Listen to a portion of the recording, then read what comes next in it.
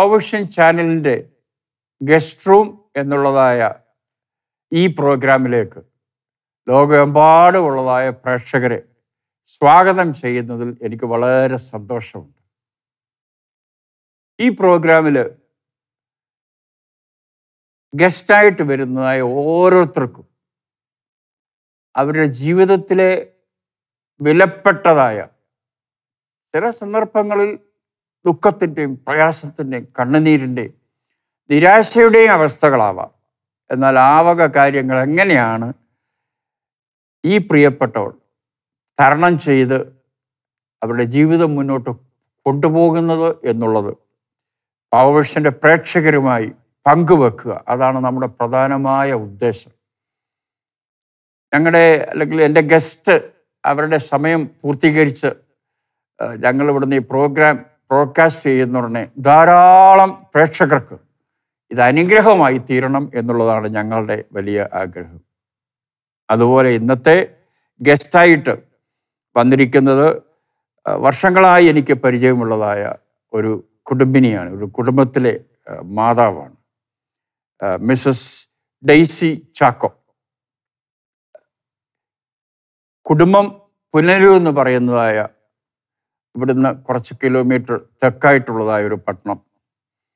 കുഞ്ഞുങ്ങളുടെ വിദ്യാഭ്യാസം മുൻനിർത്തിക്കൊണ്ട് ബദനി അക്കാഡമി എന്ന് പറയുന്നതായ I C S C I S C സ്ഥാപനത്തിന്റെ പ്രാന്തപ്രദേശങ്ങളിൽ ഇരോവേരിയൂർ എന്ന് പറയുന്ന സ്ഥലത്ത് പുതിയ വീട് വാങ്ങി താമസം അങ്ങോട്ട് മാറ്റിയിരിക്കുക. ഹസ്ബൻഡ് ഗൾഫിൽ ജോലി ചെയ്യുന്നു. ആ മാന്യ സഹോദരിയെ സ്ത്രീയെ മാതാവിനെ പ്രേക്ഷകരുടെ മുമ്പിലേക്ക് ഇൻവൈറ്റ് ചെയ്യുന്നതിൽ എനിക്ക് വളരെ സന്തോഷമുണ്ട്. ഡെയ്സി സ്വാഗതം. താങ്ക് യു വെരി മച്ച് ഒത്തിരി സ്നേഹവും ബഹുമാനവും ഉണ്ട് ഡെയ്സിയോട്. പ്രത്യേകിച്ച് ദൈവം തന്നിരിക്കുന്നതായ നന്മകൾ കുഞ്ഞുങ്ങൾ അവരെ ക്ഷമയോടും ഞാൻ കാണുമ്പോഴൊക്കെ ചിരിയോടും സന്തോഷത്തോടും കൂടിയാണ് ഞാൻ കണ്ടിട്ടുള്ളത്. തീർച്ചയായിട്ടും വീടിന്റെ ഉള്ളറയിൽ ചിലപ്പം നിരാശ ഉണ്ടായിട്ടുണ്ട് കണ്ണുനീരുണ്ടായിട്ടുണ്ട്. ഇതെന്താ ദൈവമേ എന്നുള്ള ചോദ്യം തീർച്ചയായിട്ടും വന്നിട്ടുണ്ട്. വന്നിട്ടുണ്ടാകാം. അതൊരു മനുഷ്യ നമ്മൾ മനുഷ്യരല്ലേ അതുണ്ടാകാം. എന്നാൽ ഇന്ന് ഞാൻ ആഗ്രഹിക്കുന്നത് ഒരു മുഖവര പറഞ്ഞിട്ട് ഹസ്ബൻഡിന്റെ പേരെന്തുവാ? ഹസ്ബൻഡ് എവിടെയാണ് ജോലി ചെയ്യുന്നത്? ഡെയ്സിയുടെ സ്വന്തം വീട് എവിടെയാണ് എന്നുള്ളതായ കാര്യങ്ങൾ ട്രിവാൻഡ്രത്ത് താമസമാക്കി പുനലൂർ ഹസ്ബൻഡിന്റെ വീട് ട്രിവാൻഡ്രത്ത് താമസമാക്കി അവിടെ നിരവേരി വന്നു ഇതെല്ലാം കുറച്ച് സമയം കൊണ്ട് മാന്യ പ്രേക്ഷകരുമായി പങ്കുവച്ചിട്ട് പ്രത്യേകിച്ച് ഇളയ രണ്ട് കുട്ടികളുമായി കടന്നുപോയതായ സന്ദർഭങ്ങൾ വളരെ വിശദീകരിച്ച് ഒരു അമ്മ ലോകത്തിലുള്ളതായ മറ്റമ്മമാരോട് അവരുടെ വേദനയിൽ അവരുടെ പ്രയാസത്തിൽ ഡെയ്സി എങ്ങനെ ഇത് കൈകാര്യം ചെയ്തു? ദൈവകൃപ എത്രത്തോളം അനുഭവിക്കാൻ ദൈവം ഇടയാക്കി ജീവിതത്തിൽ ബുദ്ധിമുട്ടുകളും പ്രയാസങ്ങളും ഉണ്ടായിട്ടുണ്ടല്ലോ. അതും പങ്കുവെക്കുന്നതിന് കുഴപ്പമില്ല. അത് നമ്മുടെ പ്രേക്ഷകർക്ക് അനുഗ്രഹമായി തീരുവാൻ ഞങ്ങളുടെ പ്രേക്ഷകരുടെ കണ്ണിലോട്ട് നോക്കി അവസാനത്തെ ഒരു പതിനഞ്ച് ഇരുപത് മിനിറ്റ് സംസാരിക്കണം എന്നുള്ളതാണ് നമ്മുടെ ആഗ്രഹം. അതാണ് ഈ പ്രോഗ്രാമിന്റെ പ്രത്യേകത അതുകൊണ്ട് ഡെയ്സയുടെ വീട് എവിടെയാ? ഡെയ്സയുടെ ഹസ്ബൻഡിന്റെ വീട് എവിടെയാ? ആഹ് അദ്ദേഹം ഇപ്പം എവിടെ എന്ത് ജോലി ചെയ്യുന്നു ഈ വക കാര്യങ്ങൾ ട്രിവാണ്ടത്തോട്ട് പോകാൻ എന്ത് പറ്റി ട്രിവാൻഡത്തു നിന്ന് ഇരവേരിലോട്ട് വരുവാൻ എന്ത് പറ്റി തുടങ്ങിയതായ കാര്യങ്ങൾ പിന്നീട് കുഞ്ഞുങ്ങളെക്കുറിച്ച് ഉള്ള കാര്യങ്ങൾ ഇപ്പോഴത്തെ അവസ്ഥ ഞങ്ങളുടെ പ്രേക്ഷകരുമായി പങ്കുവച്ചോട്ടെ. ഓൾ യൂഴ്സ് എന്റെ പേര് ഡെയ്സി എന്നാണ്. ഞാനൊരു കത്തോലിക്ക കുടുംബത്തിലാണ് ജനിച്ചു വളർന്നത്. എന്റെ പിതാവ് ഒരു കർഷകനായിരുന്നു. ഇന്ന് ലോകത്തിൽ നിന്ന് മാറ്റപ്പെട്ടു. അഞ്ച് വർഷം മുമ്പ് ലോകത്തിൽ നിന്ന് മാറ്റപ്പെട്ടു. എന്റെ മാതാവുണ്ട് എനിക്ക് അഞ്ച് സഹോദരങ്ങളാണ്. നാല് സഹോദരിമാരും ഒരു സഹോദരനും. നല്ല കാത്തലിക് വിശ്വാസിയായിരുന്നോ? അതെ നല്ല കാത്തലിക് വിശ്വാസിയായിരുന്നു. നല്ല ദൈവഭയത്തിലും ഭക്തിയിലും ഒക്കെ ഞങ്ങൾ വളർന്നു വന്നു. എന്റെ അഞ്ച് സഹോദരങ്ങളും അവർ കുടുംബമായി സന്തോഷത്തോടെ ആയിരിക്കുന്നു. അതുപോലെ എന്നെ വിവാഹം കഴിച്ച് അയച്ചത് പുനലൂരേക്കാണ് എന്റെ ഹസ്ബൻഡ് ജോജി. അവിടെ എന്റെ അവിടുത്തെ എന്റെ ഫാദർ ഇൻ ലോയും ഇന്ന് ലോകത്തു നിന്ന് മാറ്റപ്പെട്ടിരിക്കുന്നു. മാതാവ് ഞങ്ങളോടൊപ്പം ആയിരിക്കുന്നു. ഒരു സഹോദരിയുണ്ട്. അവരും കുടുംബമായി സന്തോഷത്തോടെ ആയിരിക്കുന്നു. എന്റെ ഹസ്ബൻഡ് വിദേശത്ത് ജോലി ചെയ്യുന്നു. പുനലൂരിൽ നിന്ന് ട്രിവാൻഡ്രത്തോട്ട് എന്തിനാ സ്ഥലം മാറിയേ? എന്നിട്ട് ട്രിവാൻഡ്രത്ത് നിന്ന് എരവേലിലോട്ട് എന്തിനാ സ്ഥലം മാറിയേ? ഞങ്ങൾ ഞാനും എന്റെ ഹസ്ബൻഡും കുഞ്ഞുങ്ങളുമായി ഞങ്ങൾ വിദേശത്ത് തന്നെ ആയിരുന്നു റിയാദിൽ ആയിരുന്നു. മൂന്ന് മക്കളും അവിടെയാണോ മൂന്ന് മക്കളും അല്ല മൂത്തയാൾ ഗൾഫിൽ ജനിച്ചു. നാട്ടിലാണ് ജനിച്ചത്. നാട്ടിൽ. Okay sorry. സാർ അങ്ങനെ പറഞ്ഞു വരുമ്പോൾ എനിക്ക് ആദ്യം മുതൽ എന്റെ ഞാൻ വിശ്വാസത്തിലേക്ക് വരാനിടയായ ചില സാഹചര്യങ്ങൾ സാഹചര്യങ്ങളിലൂടെ ഒന്ന് പറയുകയാണെങ്കിൽ ഞാൻ തൊണ്ണൂറ്റി തൊണ്ണൂറ്റി ആറിൽ ഞാൻ നേഴ്സാണ് നഴ്സിംഗ് പഠിച്ച് ഞാൻ ജോലിയോടുള്ള ബന്ധത്തിൽ മിനിസ്ട്രി ഓഫ് ഹെൽത്തിൽ ജോലി ചെയ്യാൻ വേണ്ടിയിട്ട് സൗദിയിൽ തായ്ഫ് എന്ന സ്ഥലത്തേക്ക് കടന്നുപോയി. അവിടെ ഞങ്ങളുടെ വിവാഹം നയന്റി നയനിൽ വിവാഹം കഴിഞ്ഞു. അഞ്ച് വർഷത്തോളം ഞങ്ങൾക്ക് കുഞ്ഞുങ്ങളില്ലായിരുന്നു. ആ സമയത്തൊക്കെ വളരെ ഭാരവും ഒത്തിരി നിരാശയൊക്കെ ജീവിതത്തിൽ വന്നിട്ടുണ്ട്. പക്ഷേ ആ സമയത്ത് ഞാൻ ഞാൻ പറഞ്ഞല്ലോ ഞാനൊരു കത്തോലിക്ക കുടുംബത്തിലാണ് ജനിച്ചത്. അങ്ങനെ ആ പാരമ്പര്യവും പ്രകാരമുള്ള പ്രാർത്ഥനകളും ഒക്കെ ഉണ്ടായിരുന്നു. പക്ഷേ വചനവുമായിട്ട് എനിക്കൊരു ബന്ധവുമില്ലായിരുന്നു. അങ്ങനെ ഇരുന്നപ്പോൾ എന്റെ തൊട്ടടുത്ത റൂമിലുള്ള ഒരു ചേച്ചി ഒത്തിരി പ്രാർത്ഥിക്കുന്ന ഒരു സഹോദരിയായിരുന്നു. ഞങ്ങൾ അവരുമായി ഒന്നിച്ച് പ്രാർത്ഥിക്കുകയും അങ്ങനെ ആരാധിക്കുകയൊക്കെ ചെയ്തു വന്നിരുന്നു. ആ സമയത്ത് അതൊക്കെ എനിക്ക് ഒത്തിരി എന്റെ ജീവിതത്തിൽ ഒത്തിരി ആശ്വാസവും സന്തോഷമൊക്കെ തന്നു. അങ്ങനെ ഞങ്ങൾ അവിടെ ആയിരിക്കുമ്പോൾ സൗദിയിലെ കാര്യങ്ങൾ അറിയാമല്ലോ. ഞങ്ങൾക്ക് പുറത്തു പോകാനോ ആ, ആ, പുറത്തു പോയി ഒരു ആരാധനയിലൊന്നും സംബന്ധിക്കാനുള്ള അവസരങ്ങളൊന്നും ഇല്ലായിരുന്നു. എങ്കിലും പിന്നെ അവിടെ ഞങ്ങൾ ഒരു ആഴ്ചയിൽ ഒരിക്കലും ഒരു ഷോപ്പിംഗ് ഞങ്ങൾക്കുണ്ട്. ഒരു മൂന്ന് മണിക്കൂർ നേരത്തേക്ക്. ആ ഷോപ്പിങ്ങിന് സമയത്ത് കളവ് പറഞ്ഞ് ഞങ്ങൾ പുറത്തേക്ക് പോകും. അവിടെ ഒരു വീട്ടിൽ ഒരു പാസ്റ്റർ നടത്തുന്ന കൂട്ടായ്മയിൽ ഞങ്ങൾ പങ്കെടുത്തു തുടങ്ങി. അവിടെ നിന്ന് വചനം കേൾക്കും. അതൊക്കെ എനിക്ക് ഒത്തിരി ധൈര്യവും ബലവും ആശ്വാസവും ഒക്കെ തന്നു. അങ്ങനെ ഇരിക്കുമ്പോൾ എനിക്ക് സ്നാനപ്പെടണമെന്ന ആഗ്രഹം വചനം കേട്ട് കേട്ട് എനിക്ക് വിശ്വാസ ജീവിതത്തിലേക്ക് വരണമെന്നുള്ള ആഗ്രഹം എന്നിൽ വർദ്ധിച്ചു വന്നു. അങ്ങനെ ഞങ്ങൾ പ്രാർത്ഥിച്ചുകൊണ്ടിരുന്നു പക്ഷേ എന്റെ ഹസ്ബൻഡ് ആത്മീയ ജീവിതത്തിൽ ഒരു താല്പര്യവും ഇല്ലാത്ത ഒരാളായിരുന്നു. എയർഫോഴ്സിൽ ആ സമയത്ത് എയർഫോഴ്സിൽ വർക്ക് ചെയ്യുന്നു നാട്ടിൽ ഞങ്ങൾ ഞാൻ അങ്ങനെ പോയിക്കൊണ്ടിരുന്നു. പക്ഷെ ഞാനിങ്ങനെ പ്രേയറിന് പോകുന്ന കാര്യങ്ങളൊന്നും ഹസ്ബൻഡിനോട് ഷെയർ ചെയ്യുന്നുണ്ടായിരുന്നില്ല. അങ്ങനെ നാട്ടിൽ വന്നു. നാട്ടിൽ വരുമ്പോഴും ഞങ്ങൾ ഇതൊന്നും പറയുമോ പറയ പറയില്ല. പക്ഷെ രണ്ടായിരത്തി നാലിൽ ഞങ്ങൾക്ക് ദൈവം ഒരു ആൺകുഞ്ഞിനെ തന്നു. അത് ആ രണ്ടായിരത്തി നാലിൽ തന്നെ ജോയിച്ചാനും ജോലിയിൽ നിന്ന് റിസൈൻ ചെയ്ത് എയർഫോഴ്സിൽ നിന്ന് വോളണ്ടറി റിട്ടയർമെന്റ് എടുത്ത് സൗദിയിലേക്ക് വരുവാനിടയായി. ആ സമയത്ത് ഞങ്ങൾ അവിടെ ആയിരിക്കുമ്പോൾ ജോയിച്ചാനും അവിടെ ഒരു കൂട്ടായ്മയിലൊക്കെ പങ്കെടുക്കാനുള്ള അവസരങ്ങളുണ്ടായി. ഞാൻ തായ്ഫിലായിരുന്നു ജോയിച്ചാൻ വന്നത് ജദ്ദയിലാണ്. അവിടെയും അതിശയരമായിട്ട് ദൈവം ഞങ്ങൾക്ക് വേണ്ടിയിട്ട് പ്രവർത്തിച്ചു. തായ്ഫിൽ നിന്നൊരു ട്രാൻസ്ഫർ ജദ്ദയിലേക്ക് കിട്ടി. ഞങ്ങൾ അങ്ങനെ ഒന്നിച്ച് ജദ്ദയിൽ താമസിക്കാൻ തുടങ്ങി. അങ്ങനെ മൂത്തയാൾക്ക് ഒന്നര വയസ്സുള്ളപ്പോൾ ആദ്യത്തെ മോനെ ഞങ്ങൾ ചോദിച്ചു വാങ്ങിയെങ്കിൽ ഒന്നര വയസ്സ് അവന് ഒന്നര വയസ്സുള്ളപ്പോൾ രണ്ട് ഇരട്ട കുഞ്ഞുങ്ങളെ ദൈവം ഞങ്ങൾക്ക് ദാനമായി തരുവാനിടയായി. അതിനിടയ്ക്ക് തന്നെ ജോയിച്ചാൻ വചനം കേൾക്കുകയും ആ, വിശ്വാസത്തിൽ ഉറയ്ക്കുകയും അങ്ങനെ പ്രിയ മാതാവിന്റെയും പ്രാർത്ഥന അതിന് പുറകിൽ ഒത്തിരി ഉണ്ട്. ഞാനും കണ്ണുനീരോടെ ദൈവസന്നിധിയിൽ പ്രാർത്ഥിച്ചുകൊണ്ടിരുന്നു. ജോയിച്ചാനും ഈ ഒരു അനുഭവത്തിലേക്ക് വരണം ഞങ്ങൾക്ക് ഒന്നിച്ച് സ്നാനപ്പെടണം അങ്ങനെ ഞങ്ങൾ പ്രാർത്ഥിച്ചുകൊണ്ടിരുന്നു. അങ്ങനെ ജോയിച്ചാനും അതിന് തയ്യാറായി. ഞങ്ങൾ ഒന്നിച്ച് ജദ്ദയിൽ ചെങ്കടലിൽ സ്നാനപ്പെടുവാനായിട്ട് റെഡ് സീയിൽ അവിടെ ഞങ്ങൾക്ക് ഒരു നല്ല കൂട്ടായ്മ ദൈവം തന്നിരുന്നു. പക്ഷേ കുഞ്ഞുങ്ങളുണ്ടായി അഞ്ചു മാസം വരെ ഞങ്ങളുടെ എന്റെ കൂടെ തന്നെയായിരുന്നു ഞങ്ങളുടെ കൂടെ തന്നെയായിരുന്നു. പക്ഷേ ജോലിയിലെ പ്രയാസങ്ങളും പിന്നെ കുഞ്ഞുങ്ങളെ നോക്കുവാനായിട്ട് സെർവൻസ് ഒക്കെ മാറി മാറി വരുന്നു. അങ്ങനെയുള്ള പ്രയാസങ്ങൾ വന്നപ്പോഴത്തേക്കിന് കുഞ്ഞുങ്ങളെ നാട്ടിൽ വിടുവാനിടയായി. നാട്ടിലെ എന്റെ മാതാവ് അവരെ നോക്കി പക്ഷെ ഒന്നര വയസ്സ് കഴിഞ്ഞപ്പോഴേക്കും ഞങ്ങൾ അവരെ തിരിച്ച് സൗദിയിലേക്ക് കൊണ്ടുവന്നു. കൊണ്ടുവന്ന് കഴിഞ്ഞിട്ട് ആ സമയത്തൊക്കെ കുഞ്ഞുങ്ങൾ ഭയങ്കര ഹൈപ്പർ ആക്റ്റീവ് ഹൈപ്പർ ആക്റ്റീവ് ആയിരുന്നു. അവരുടെ ഒരു ഒരു നിമിഷം പോലും അടങ്ങിയിരിക്കുന്ന ഒരു സ്വഭാവമല്ല. പക്ഷേ ഞാൻ പിന്നീട് ഞാൻ നോട്ടീസ് ചെയ്യാൻ തുടങ്ങി. അവർ ഒന്നും ആ സമയത്ത് പക്ഷെ അവരുടെ മൈൽ സ്റ്റോൺസ് എല്ലാം നോർമലായി തന്നെ പോയിക്കൊണ്ടിരുന്നു. നല്ല ആരോഗ്യവും സൗന്ദര്യവും ഒക്കെ ഉള്ള. നേഴ്സ് ആയിരിക്കുമ്പോൾ തീർച്ചയായിട്ടും അത് അറിയാമല്ലോ. അതെ അതെ. ഓക്കെ.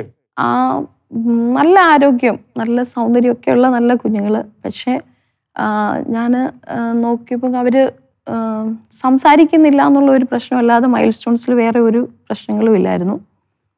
അപ്പോൾ അവർ ഞാൻ വിളിക്കുമ്പോഴൊന്നും അവർ തിരിഞ്ഞു നോക്കുന്നില്ല. അവർ റെസ്പോണ്ട് ഇല്ല പക്ഷെ ബാക്കി എല്ലാ കാര്യങ്ങളും ചെയ്യുന്നുണ്ട്. ടി വിയിലോ ഒക്കെ നല്ല പാട്ടുകൾ കേൾക്കുമ്പം ഓടിച്ചെന്ന് അതിനെ കേൾക്കുകയും കാണുക. അപ്പോൾ അവർക്ക് വേറെ പ്രശ്നങ്ങളൊന്നും ഇല്ല. ഇതെന്താണ് പ്രശ്നമെന്ന് എനിക്കും മനസ്സിലാവുന്നില്ല. അങ്ങനെ ഒരു കുഞ്ഞുങ്ങൾക്ക് ഒരു ജലദോഷം വന്ന സമയത്ത് ഞങ്ങൾ ഒരു ഹോമിയോ ഡോക്ടർ അടുത്ത് കടന്നു പോയപ്പോൾ ഞാനിങ്ങനെ ഈ പ്രശ്നങ്ങളൊക്കെ ഡോക്ടറെ അടുത്ത് ഇങ്ങനെ പറയാനിടയായി. അപ്പോൾ ഡോക്ടർ പറഞ്ഞു ഡേസി ഇങ്ങനെ ഇത് ഓട്ടിസം ആവാൻ സാധ്യതയുണ്ടെന്ന് പറഞ്ഞു. ആ സമയത്ത് ഞങ്ങൾ നാട്ടിൽ വെക്കേഷന് വേണ്ടിയിട്ട് കടന്നു വന്നു. ട്രിവാൻഡ്രത്ത് സി ഡി സിയിൽ ഞങ്ങൾ കടന്നുപോയി. ചൈൽഡ് ഡെവലപ്മെന്റ് സെന്ററിൽ കടന്നുപോയി. അവിടെ കുഞ്ഞുങ്ങളെ അസസ് ചെയ്തു. അവർക്ക് ഓട്ടിസം ആണെന്ന് ഡയഗ്നോസ് ചെയ്യാൻ തന്നെ ഇവിടെ എഴുന്നത്തക്കവണ്ണ ഇടയായി. അത് കഴിഞ്ഞിട്ട് പിന്നീട് ഞങ്ങൾ നാട്ടിൽ നിന്ന് പിന്നെ തിരിച്ചു കടന്നുപോയി. പിന്നെ തിരിച്ച് അടുത്ത വെക്കേഷൻ വന്നപ്പോൾ വെല്ലൂർ സി എം സിയിൽ പോയി. അവിടെയും ഓട്ടിസം എന്ന് ഡയഗ്നോസ് ചെയ്യാൻ കൺഫേം ചെയ്തു. ആദ്യമായിട്ട് ഇത് ഓട്ടിസം ആണ് അല്ലെങ്കിൽ ആയിരിക്കാം എന്ന് പറഞ്ഞപ്പം ഒരു മദർ എന്നുള്ളതായ നിലയിൽ വലിയ പ്രതീക്ഷയോടുകൂടിയാണല്ലോ നമ്മൾ കുഞ്ഞുങ്ങളെ വളർത്തുന്നത് പ്രസവിക്കുന്നതും വളർത്തുന്നതുമെല്ലാം അന്നേരം ആ ആ നിമിഷത്തിൽ ഹസ്ബൻഡ് കൂടെ ഉണ്ടായിരുന്നു എന്ന് ഞാൻ വിശ്വസിക്കുന്നു. എന്തുമായിരുന്നു ഒരമ്മയുടെ ഹൃദയത്തിലെ ചിന്ത തീർച്ചയായിട്ടും. വളരെ തകർന്ന ഒരു അവസ്ഥയിലായിപ്പോയി ഞാൻ. വളരെ നിരാശയിലേക്ക് പോകാൻ തക്കണ ഇടയായി. കാരണം മൂന്ന് കുഞ്ഞുങ്ങൾ വളരെ സന്തോഷത്തോടെയാണ് ഞാൻ എന്റെ മൂന്ന് ആൺ കുഞ്ഞുങ്ങൾ എന്നുള്ള ആ ഒരു ഭയങ്കര സന്തോഷത്തിലായിരുന്നു ഞാൻ. ആ സമയത്ത് തന്നെ ഇങ്ങനെ കേൾക്കുക ഇങ്ങനെ ഇങ്ങനെ ഒരു അവസ്ഥയിലാണ് എന്റെ കുഞ്ഞുങ്ങളെന്ന് അറിഞ്ഞപ്പോൾ വളരെ തകർന്നു പോയി. ചേച്ചി ലോകത്തിലെ മൊത്തം കണക്കെടുക്കുമ്പോൾ കണക്കെടുക്കുമ്പം fifteen to sixteen percent of the children are facing autism എന്നാൽ ഇന്ത്യയിൽ ഇന്ത്യ അല്പം കൂടെ ബാക്ക്വേർഡ് രാജ്യമായതുകൊണ്ട് നമ്മുടേത് സെവന്റീൻ ടു എയ്റ്റീൻ ഇത് കറക്റ്റായിട്ടുള്ളതായ ഫിഗറാണ് ഞാൻ ഈ കാര്യത്തെ ഇച്ചിരി പഠിച്ചിട്ടുമൊക്കെ ഉണ്ട്. നമുക്കൊരു നമ്മുടെ സ്കൂളിൽ തന്നെ ഇതിനു വേണ്ടി പ്രത്യേക എംഫസിസ് കൊടുക്കുന്നുമുണ്ട്. അപ്പം അങ്ങനെ ഒരു പെർസെന്റേജ് വർദ്ധിച്ചു വരുന്നതായ ഒരു അവസ്ഥയാണ് ഈ ഓട്ടിസം എന്ന് പറയുമ്പം. അത് കേട്ടപ്പം ഹൃദയം തകർന്നു പോയി എന്ന് പറയുന്നത് ഒരു അതിശോക്തിയൊന്നുമല്ല ഞാൻ ഈ ചോദിക്കാൻ വരുന്നത് അല്ലെ പറയാൻ വരുന്നത് നമ്മുടെ പ്രേക്ഷകരിൽ ധാരാളം പേരൻസ് ഈ അവസ്ഥ ഫേസ് ചെയ്യുന്നവരുണ്ട്. അവർക്ക് ഡെയ്സിയുടെ എക്സ്പീരിയൻസ് അത് അത് അത് ബ്രോക്കൺ ഹാർട്ടായാലും കരഞ്ഞിട്ടുള്ളതായ സന്ദർഭങ്ങളായാലും നിരാശയുള്ള സന്ദർഭങ്ങളായാലും ഒത്തിരി ധൈര്യം പകരണമെന്നുള്ളതാണ് നമ്മുടെ ഈ പ്രോഗ്രാമിന്റെ പ്രധാനമായ വിഷയം. ആ സമയത്ത് കുഞ്ഞുങ്ങൾ വീട്ടിൽ മൂന്ന് കുഞ്ഞുങ്ങളും ഷോൺ മൂത്തയാൾക്ക് ഒന്നര വയസ്സ് വ്യത്യാസമുള്ളൂ. മൂന്ന് പേരും കുഞ്ഞുങ്ങളാണ്. അപ്പോൾ മൂന്ന് പേരെയും കൂടെ ഹാൻഡിൽ ചെയ്യാനുള്ള വളരെ ബുദ്ധിമുട്ട് എനിക്ക് ജോലി ചെയ്യാനായിട്ടുള്ള ബുദ്ധിമുട്ടുണ്ട് പോകാനായിട്ടുള്ള ബുദ്ധിമുട്ടുണ്ട്. അങ്ങനെ ഞാൻ ജോലിയിൽ നിന്ന് റിസൈൻ ചെയ്യാൻ തക്കവണ്ണം ഇടയായി ജോയിച്ചാൻ ആ സമയത്ത് ആ സമയത്ത് ഞാൻ ജോലിയിൽ നിന്ന് റിസൈൻ ചെയ്ത ആ സമയത്ത് തന്നെ ജോജാനും അവിടെ ജോലിയിൽ പ്രശ്നങ്ങളുണ്ടായി. അങ്ങനെ രണ്ടു പേർക്കും ജോലി നഷ്ടപ്പെട്ട ഒരവസ്ഥ ആ സമയത്ത് ഞങ്ങൾക്ക് അവിടെ ഉണ്ടായി. പക്ഷേ ആ ഒരു അത് കഴിഞ്ഞുള്ള ആ ഒരു മാസം മുഴുവനും ഞാനും ജോജാനും അന്നൊക്കെ ഞങ്ങളെ വിശ്വാസത്തിലേക്ക് ദൈവം കൊണ്ടുവന്ന സമയങ്ങളാണ്. ഞങ്ങൾ സ്നാനപ്പെട്ടായിരിക്കുന്ന ആ ദിവസങ്ങളാണ്. പക്ഷേ ശരിക്കും ദൈവസന്നിധിയിൽ ഉപവാസത്തോടെ കണ്ണുനീരോടെ ഒരു മാസത്തോളം ഒത്തിരി അതിനേക്കാളൊക്കെ ഏറെ നല്ലൊരു ജോലിയുമായി ഞങ്ങൾ റിയാദിലേക്ക് ഷിഫ്റ്റ് ചെയ്യാൻ തക്കണയിടയായി അവിടെ റിയാദിലേക്ക് ഞങ്ങളെ കൊണ്ടുവന്നതിന്റെ പുറയിലും ദൈവത്തിന് ഒരു ഉദ്ദേശം ഉണ്ടായിരുന്നത് പിന്നീട് മനസ്സിലായി. അത്രയും പ്രതിസന്ധിയൊക്കെ ജീവിതത്തിൽ കടന്നു വന്നത് എന്തിനാണെന്ന് പിന്നീട് മനസ്സിലായി. കാരണം അവിടെ വന്നപ്പോൾ കുഞ്ഞുങ്ങൾക്ക് രണ്ടര വയസ്സ് കഴിഞ്ഞതേ ഉള്ളൂ. അവർ മൂന്ന് വയസ്സ് കഴിഞ്ഞപ്പോൾ മുതൽ റിയാദിൽ ഉള്ള ഇന്ത്യൻ എംബസിയുടെ കീഴിലുള്ള ഒരു വിങ് ഒരു സ്കൂളിലെ ഒരു വിങ് സ്പെഷ്യൽ കെയർ സെന്റർ ആണ്. അപ്പൊ അപ്പോൾ അവിടേക്ക് അതേസമയം ഞങ്ങൾ ജദ്ദയിലായിരുന്നെങ്കിൽ ഒരിക്കലും അങ്ങനെ ഒരു അവസരം ഞങ്ങൾക്കില്ലായിരുന്നു. അപ്പോൾ ആ സ്കൂളിലേക്ക് കുഞ്ഞുങ്ങളെ വിടാനായിട്ട് തുടങ്ങി. അവിടെ അഡ്മിഷൻ ലഭിച്ചു അവിടെ വിടാൻ തുടങ്ങി. ആ സ്കൂൾ ഒത്തിരി അനുഗ്രഹമായിരുന്നു കുഞ്ഞുങ്ങൾക്ക്. അവരെ ഈവൻ നാല് വയസ്സ് വരെ കുഞ്ഞുങ്ങൾ ശരിക്കും സംസാരിക്കുന്നുണ്ടായിരുന്നില്ല. അവിടുത്തെ സ്പീച്ച് തെറപ്പിയും അവരുടെ ആ കെയറിങ്ങും ഒക്കെ കൊണ്ട് കുഞ്ഞുങ്ങൾ നാല് വയസ്സായപ്പോൾ മുതൽ സംസാരിക്കാൻ തുടങ്ങി. പക്ഷെ അവർ സ്കൂളിൽ പോകുന്നതിന് മുമ്പ് തന്നെ ആൾക്ക് ഞാൻ ലെറ്റേഴ്സും നമ്പേഴ്സും ഒക്കെ എഴുതിക്കുന്ന സമയത്ത് തന്നെ അവർ അതൊക്കെ എഴുതുമായിരുന്നു ഈ രണ്ടിൽ മൂത്ത ആൾ രണ്ടുപേരും എഴുതു എഴുതുകയും അവർക്ക് പഠിക്കാനുള്ള താല്പര്യം ആ സമയത്ത് വളരെയധികം ഉണ്ടായിരുന്നു. അതുപോലെ പാട്ട് കേൾക്കാൻ ഭയങ്കര ഇഷ്ടം പക്ഷെ സംസാരിക്കുന്നില്ലായിരുന്നു. നാല് വയസ്സ് മുതൽ അവർ സംസാരിച്ചു തുടങ്ങി. അങ്ങനെ അങ്ങനെ പോകുന്ന സമയത്ത് കുഞ്ഞുങ്ങൾ രാവിലെ സ്കൂളിലേക്ക് പോകും പോവും. സ്കൂളിലാണെങ്കിലും വളരെ ഇടയ്ക്കൊക്കെ പല പ്രശ്നങ്ങളും നമുക്ക് പോസിറ്റീവായിട്ടുള്ളത് നെഗറ്റീവായിട്ടുള്ള റിപ്പോർട്ട്സ് ഒക്കെ സ്കൂളിൽ നിന്ന് കിട്ടുന്നുണ്ടായിരുന്നു. അതൊക്കെ ഹൃദയത്തിൽ ഒത്തിരി വേദന ഉണ്ടായിരുന്നു. ആ സമയത്തൊക്കെ എന്റെ ഒരു ആശ്വാസം എന്ന് പറഞ്ഞാൽ അന്നേരം എന്റെ മാ എന്റെ അമ്മയെ വിളിച്ച് ഞാൻ നാട്ടിലേക്ക് വിളിച്ച് ഫോൺ വിളിച്ചിട്ട് കരയും. അങ്ങനെ കരഞ്ഞ് അമ്മയും കരയിപ്പിക്കും. അമ്മയും കരയിപ്പിക്കും. അതായിരുന്നു എനിക്ക് കിട്ടുന്ന ഒരു ആശ്വാസം. പക്ഷെ പിന്നീട് ഞാൻ ചിന്തിച്ചപ്പോൾ എനിക്ക് ഇതൊക്കെ ഒരു താൽക്കാലികമായിട്ടുള്ള ഒരു ആശ്വാസം മാത്രമാണെന്ന് മനസ്സിലായി. പിന്നെ ഞാൻ ചെയ്തുകൊണ്ടിരുന്നത് ജോയിച്ചാൻ രാവിലെ ഓഫീസിലേക്ക് പോവും കുഞ്ഞുങ്ങൾ രാവിലെ സ്കൂളിലേക്ക് പോവും. ഞാൻ അടുക്കളയിലേക്ക് പോലും പോവില്ല. ഞാൻ നേരെ പ്രെയർ റൂമിലേക്ക് പോകും. ഞങ്ങൾക്ക് പ്രെയർ റൂം ആ പോയിന്റിലേക്ക് വരാനാണ് ഞാൻ ധൃതി വെക്കുന്നത്. എങ്ങനെ ഈ ഏളി ഡേയ്സിൽ മൂന്ന് നാല് വർഷം ഈ അവസ്ഥയുമായിട്ട് ദൈവവുമായിട്ടുള്ളതായ ബന്ധം. താങ്ക് യു അതിലേക്ക് വന്നതിൽ വളരെ സന്തോഷം. എങ്ങനെ രാവിലെ ഭക്ഷണം കഴിച്ചു ആ പാത്രം പോലും കഴുകി അടുക്കി വെക്കാതെ പിള്ളേരെ സ്കൂളിൽ വിട്ടു ഹസ്ബൻഡിനെ ഓഫീസിൽ വിട്ടു എന്നിട്ട് ഓടി മാന്യ പ്രേക്ഷകർ കേട്ടെന്ന് ഞാൻ വിശ്വസിക്കുന്നു ഓടി പ്രെയർ റൂമിലേക്ക് പോകും. അതാ അത് അതൊന്നും അതൊന്നും വിശദീകരിച്ചു ഞാൻ പ്രെയർ റൂമിലേക്ക് ചെന്ന് അവിടെ പ്രെയർ റൂം എന്ന് പറയുന്നത് അവിടെ ആരാധന നടക്കുന്ന റൂമുകൾ ഞങ്ങളുടെ വീട്ടിലും ആരാധന നടക്കുന്നുണ്ട്. ആ വീട് എന്ന് പറയുന്നത് സീൽ ചെയ്ത് സൗണ്ട് പ്രൂഫ് ആക്കിയിരിക്കുന്ന. റൂമാണ്. ആ റൂമിൽ ഞാൻ കടന്നു കഴിഞ്ഞാൽ ഞാനും ദൈവവുമായിട്ട് മാത്രം. അത്. വളരെയധികം സമയം ഞാൻ ദൈവസന്നിധിയിൽ സങ്കടം പറയും കരയും പ്രാർത്ഥിക്കും ആരാധിക്കും. അങ്ങനെ ആ കുറേ മണിക്കൂറുകൾ ഞാൻ ആ ദൈവസന്നിധിയിൽ ചെലവഴിക്കാൻ തുടങ്ങി. അതെനിക്ക് എന്റെ ജീവിതത്തിൽ ഒത്തിരി മാറ്റങ്ങൾ വരും ഞാൻ ഇടയ്ക്ക് കയറി പറഞ്ഞോട്ടെ എന്റെ അനുഭവത്തിലും നമുക്ക് ഓടിച്ചെന്ന് നമ്മുടെ എല്ലാ കംപ്ലൈന്റും എല്ലാ ഭാരങ്ങളും എല്ലാ പ്രയാസങ്ങളും പറയാൻ ഏറ്റവും ബെസ്റ്റ് സ്ഥലമാണ് ദൈവസന്നിധി എന്ന് പറയുന്നത്. കാരണം നമ്മൾ മറ്റുള്ളവരുടെ ഭാര്യ ഭർത്താവിനോടാവട്ടെ ഭർത്താവ് ഭാര്യയോടാകട്ടെ മക്കൾ അപ്പ പേരൻസിനോടാവട്ടെ പേരൻസ് മക്കളോടാകട്ടെ എത്ര പറഞ്ഞാലും ശരിയാവുകയില്ല. അതുകൊണ്ട് പറയണ്ടെന്നുള്ളതല്ല ശരിയാവുകയില്ല. അങ്ങോട്ട് ചെന്ന് ദൈവത്തെ ദൈവത്തിന്റെ മുഖത്ത് നോക്കി. ദൈവത്തിന്റെ മുൻപിൽ അസഭ്യം ദൈവത്തോട് പറയേണ്ട കാര്യമൊന്നുമില്ല. എന്നാൽ ഈർഷ്യയാണോ പ്രയാസമാണോ ബുദ്ധിമുട്ടാണോ ഇത് പറഞ്ഞാൽ ദൈവം ദൈവം അത് കേട്ടോണ്ടിരിക്കും. ദൈവം നമ്മളെ തിരിഞ്ഞ് അടിക്കുകയോ ദൈവം നമ്മളെ തിരിഞ്ഞ് ശാസിക്കുകയോ ഒന്നും ചെയ്യത്തില്ല. I'm glad you found such an important place in your life please go ahead അങ്ങനെ അതെനിക്ക് ദൈവം തന്ന ഒരു വലിയ ധൈര്യവും ബലവും കുഞ്ഞുങ്ങൾക്ക്. അങ്ങനെ ഞാൻ കുഞ്ഞുങ്ങളെ പിന്നീട് വൈകുന്നേരങ്ങളിൽ അവരെ വിളിച്ചിരുത്തി അവരെ കൊണ്ട് ആ സമയത്ത് സംസാരിച്ചു തുടങ്ങി. പാട്ട് പാടി പാട്ട് പഠിപ്പിക്കും ഞാൻ പ്രാർത്ഥിക്കാനായിട്ട് പഠിപ്പിച്ചു. അവർ വായിക്കാൻ തുടങ്ങിയപ്പോൾ മുതൽ അവർ വചനം വായിക്കാൻ തുടങ്ങി. മൂന്ന് പേരും ഒന്നിച്ച്. ഇന്നും ഇന്നും ഏഴ് മണിയാവുമ്പോൾ അവർ അവർ രണ്ടുപേരുമാണ് മാറ്റ് എടുത്തിട്ട് പ്രാർത്ഥിക്കാൻ വേണ്ടി മക്കളുടെ മൂന്ന് പേരുടെ വയസ്സൊന്ന് പറയാമോ മൂത്ത മോൻ? മൂത്തയാളിപ്പോ പതിനാറ് വയസ്സ്.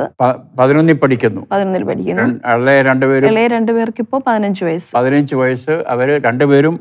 രണ്ട്- പത്താം ക്ലാസ്. പത്താം ക്ലാസ്. ഓക്കെ. അപ്പോൾ ഇന്നും അങ്ങനെ ചെയ്യുന്നുണ്ട്. അവർ രണ്ടുപേരുമാണ് പ്രാർത്ഥിക്കാനായിട്ട് ആദ്യം. അതുപോലെ ഞങ്ങൾ എവിടെയെങ്കിലും യാത്രയിലാണെങ്കിൽ പോലും ആ വണ്ടിയിലിരുന്ന് ദൈവത്തെ ആരാധിക്കുകയും പ്രാർത്ഥിക്കുക ആ സമയത്ത് ആ ഏഴുമണിയാവുന്ന സമയത്ത് മറന്നു പോകാതെ പ്രാർത്ഥിക്കുന്ന കുഞ്ഞുങ്ങളാണ്. നന്നായി പാട്ട് പാടും അവർക്ക് മ്യൂസിക് ഭയങ്കര ഇഷ്ടമാണ്. അത് എവിടെയായിരുന്നാലും മ്യൂസ് രാത്രിയിൽ ഉറങ്ങുമ്പോൾ പോലും സ്പീക്കറിൽ മ്യൂസിക് കേട്ടുറങ്ങാനാണ് അവർക്ക് ഇഷ്ടം അങ്ങനെ ഒത്തിരി അധികം മാറ്റങ്ങൾ ദൈവം അവരുടെ ജീവിതത്തിൽ ഇന്ന് കൊടുത്തിട്ടുണ്ട്. അങ്ങനെ ഞങ്ങൾ റിയാദിലായിരുന്ന സമയത്ത്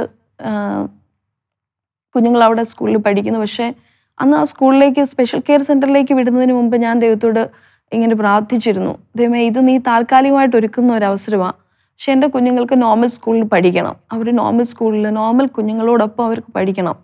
അതിന് വേണ്ടിയിട്ടുള്ള അവസരം നീ ഒരുക്കണമെന്ന് പറഞ്ഞ് ഞാൻ പ്രാർത്ഥിച്ചിരുന്നു. അന്ന് അവിടെ ഞങ്ങൾക്കൊരു നല്ല കൂട്ടായ്മയുണ്ട്.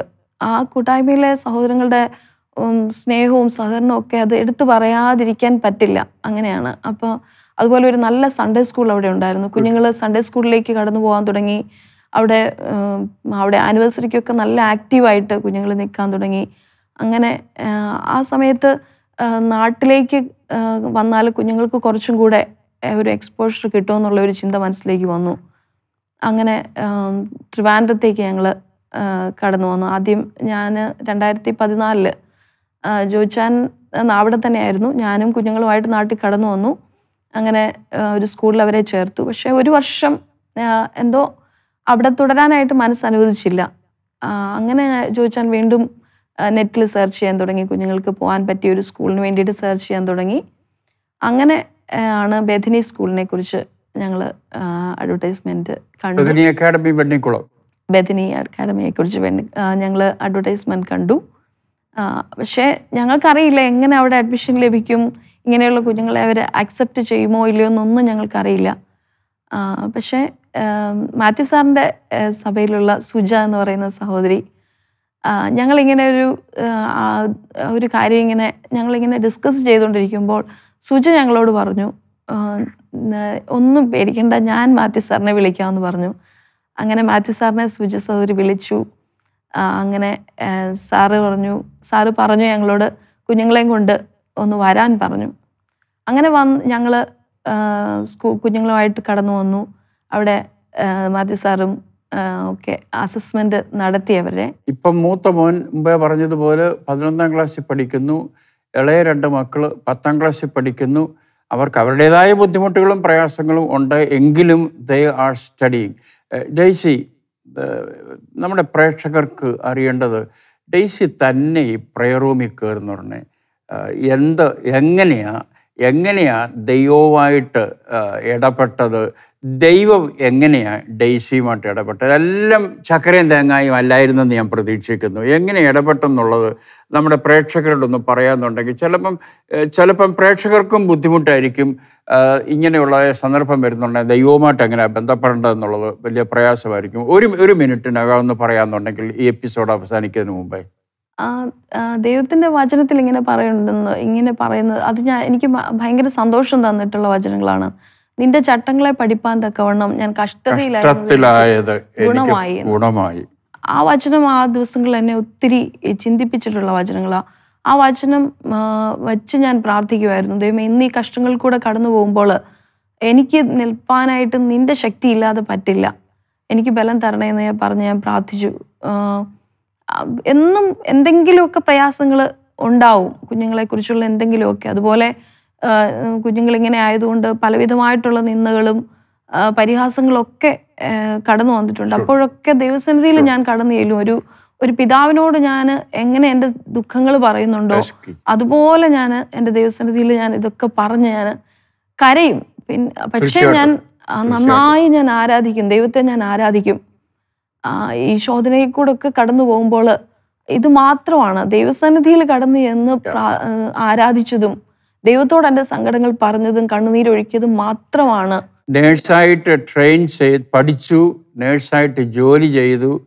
വലിയ പ്രതീക്ഷയോടുകൂടി വീട്ടമ്മയായി ദൈവം മൂന്ന് മക്കളെ കൊടുത്തു. എന്നാൽ അതിന്റെ ഇടയിൽ ഭാരങ്ങളും പ്രയാസങ്ങളും ബുദ്ധിമുട്ടുകളും പ്രതീക്ഷിക്കാത്തതായ കാര്യങ്ങളൊക്കെ സംഭവിച്ചു. എങ്കിലും ഇത്രയും തോളം ദൈവം നടത്തി ദൈവ ആശ്രയം കൊണ്ട് ദൈവത്തോട് കാര്യങ്ങൾ പറഞ്ഞിട്ട് പറഞ്ഞതുകൊണ്ട് ഞാൻ ഡെയ്സിയെ കാണാൻ തുടങ്ങിയതായ സമയം മുതൽ ഞാൻ പലപ്പോഴും ചിന്തിച്ചിട്ടുണ്ട് ഇത്രയും ബുദ്ധിമുട്ടിൽ കൂടെ പ്രയാസങ്ങളിൽ കൂടെ വേദനയിൽ കൂടെ കടന്നു പോകുന്ന ഈ ഡെയ്സിക്ക് എങ്ങനെ ഇതുപോലെ ഹാപ്പി ഫേസ് കൊണ്ട് നടക്കാൻ സാധിക്കുമെന്ന് ഞാൻ ചിന്തിച്ചിട്ടുണ്ട് ഞാൻ ആളുകളോട് പറഞ്ഞിട്ടുണ്ട്.